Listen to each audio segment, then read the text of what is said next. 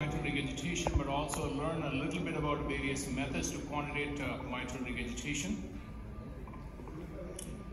Just to keep the uh, presentation interesting, uh, uh I made it uh, uh, sort of a little bit of audience response. So Friday at 4.45, your colleague calls because his friend is visiting him from out of town. He wants you to see the patient. Uh, she's 44 with a murmur. You said, no problem. Uh, I leave at 5, but I can take care of this quickly. So the patient is a 44-year-old woman with a known murmur at age 17. She got one episode of lightheadedness after exercise and she had to stop. And you examine, um, and then you also get an echocardiogram. This is what you see from the echocardiogram. This Bergeron view, you can see the mitral valve is abnormal. You turn on the color, there is mitral regurgitation. So we'll use, instead of audience response, we'll just use show of hands for the next question. Uh, how many think this is endocarditis? Show of hands. How many think this is related to myocardial infarction and that's why the valve is leaking? How many think this is mitral valve prolapse? How many think this is rheumatic valve disease? Looks like you have gotten the question correctly and I'm done. I'm just kidding.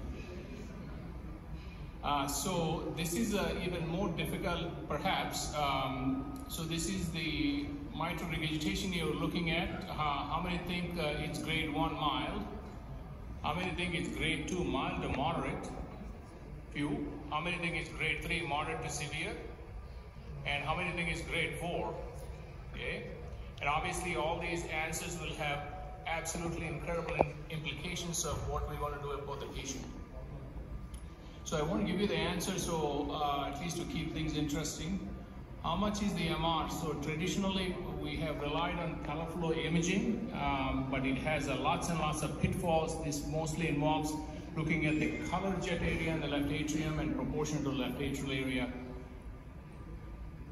So there are quantitative and we must move more towards quantitative techniques rather than relying on the color flow estimation of uh, mitral regurgitation and aortic regurgitation.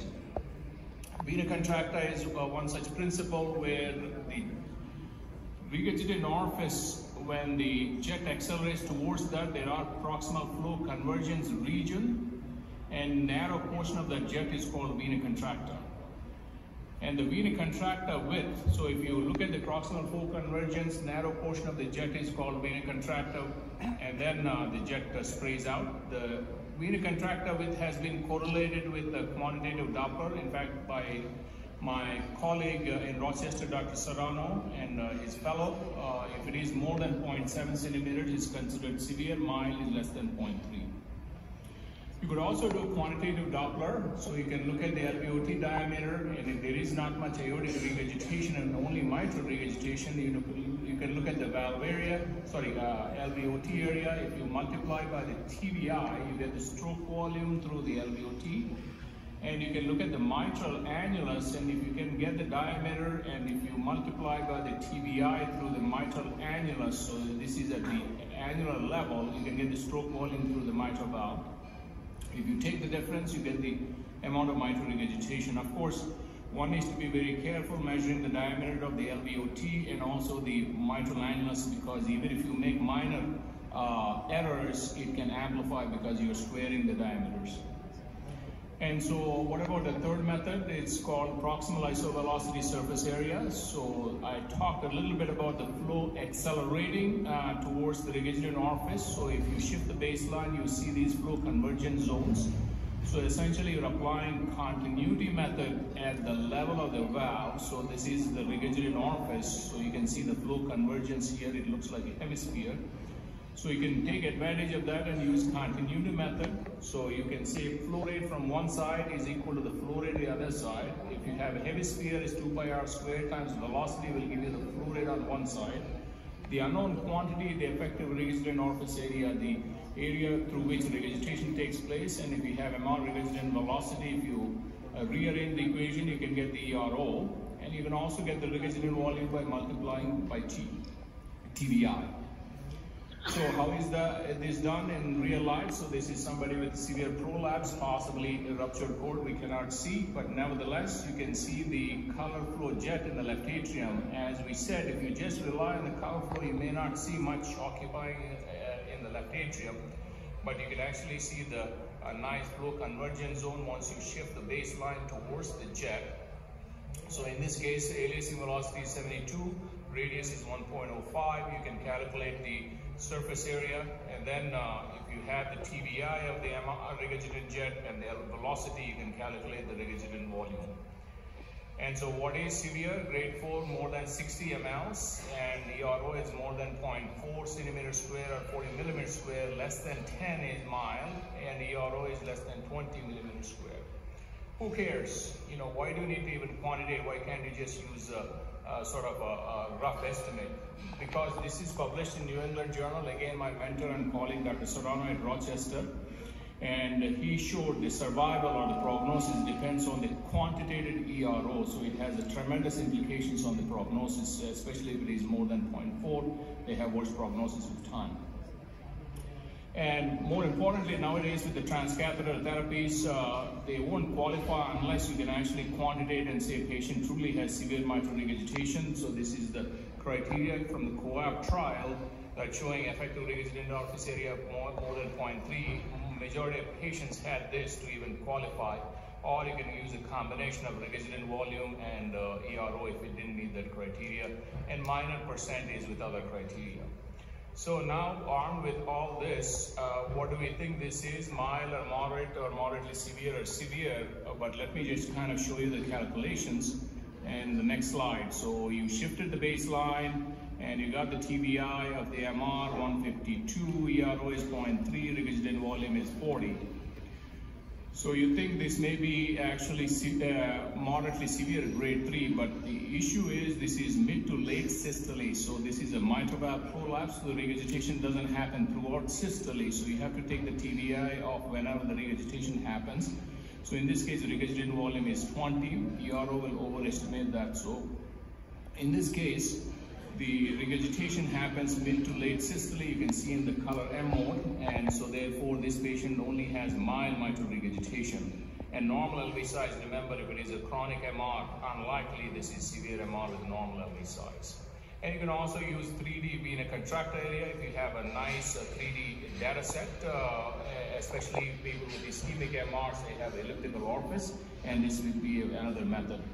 If all else fails, you can use MRI continuity method there using phase contrast, um, uh, uh, velocity encoding, and then you can figure out what the regurgitant volume is as a gold standard.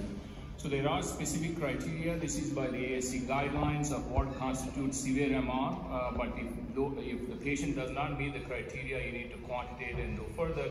Otherwise, do TEE or MRI if in doubt mechanism of MR, in this case, uh, we already saw this is mitral valve prolapse. This is primary, which basically means something wrong with the valve. And this is also another primary MR where there's a severe prolapse. In this case, you can actually see P2 segment that's prolapsing, resulting in severe mitral regurgitation. And now with the advent of 3D, you can actually see the P2 segment prolapsing towards you. This is anterior, this is posterior. And this is another case of actually uh, ruptured chord with a severe mitral regurgitation because of the ruptured chord. You can actually see the flow convergence zone here. And in 3D, you can see the lateral part of P2 with the flail uh, chord and uh, turning on the color, you can see the uh, severe regurgitation. Uh, in this patient, uh, initially it appears maybe prolapse or something like that, but this patient had actually um, uh, old endocarditis is an A-line pilot, no symptoms, but uh, he walks uh, and no problem, but has a significant mitral regurgitation murmur and turned out that he has a perforation in the anterolateral commissure that resulting in severe mitral regurgitation. So the treatment would be different than patients with mitral valve prolapse where the valve could be repaired. So this is another reason why the valve can leak because the calcium can extend into the uh, valve leaflets. The LV function is normal. Here you can actually see the circumferential calcification that's interfering with the leaflet motion and resulting in severe mitral regurgitation. So this is somebody with mitral annular calcification going into the uh, mitral valve leaflets itself resulting in severe mitral regurgitation.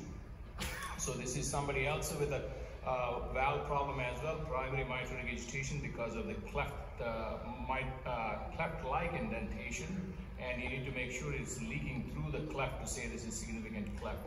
So this is another view of the same patient actually showing where the regurgitation is happening through the cleft. And so we talked about primary MR from a perforation or mitral prolapse or uh, calcification, even rheumatic valve disease could do that or drug induced. What are the other reasons for the mitral valve leak? So it's a secondary cause. So the LV is the problem, not the valve. So if the papillary muscles get distorted because of dilated cardiomyopathy or ischemic cardiomyopathy such as this, where you can see inferolateral wall is akinetic, LV is dilated, they can have posteriorly directed mitral regurgitation because the posterior leaf is getting pulled. It's not mitral valve prolapse. So another case of uh, uh, severe uh, tethering of the leaflets because of LV dysfunction, regional wall motion abnormalities uh, resulting in severe mitral regurgitation in this case. And so um, let's uh, let's look at uh, uh, this case also, same thing with the region of wall motion abnormality and the inferior portion of the LV with the prior MI. Uh, resulting in non-coaptation and also severe mitral regurgitation. Sometimes you need to put the 3D like this, not unforced, because you don't know if the tethering is occurring and where it's occurring, but you can see the posterior portion of the leaflet is getting tethered, uh, restricted, and so that's uh, how the mitral regurgitation is happening. Nowadays, we're also recognizing something called atriogenic mitral regurgitation, where the uh, leaflets don't occupy the whole annulus which is dilated that results in atriogenic mitral regurgitation. So these are all examples of secondary mitral regurgitation, ischemic or non-ischemic cardiomyopathy or atrial mitral regurgitation. And so these are several etiologies of mitral regurgitation. So echo plays a great role uh, looking at is it primary or secondary or how much is the mitral regurgitation, but we use quantitative uh, approach as much as possible, use ancillary science. Thank you so much. Thank, thank you, sir, for your nice presentation and there are very good cases.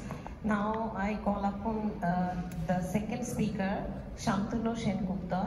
Uh, he, he, will uh, talk about the concomitant HOCM and aortic stenosis, diagnosis and management.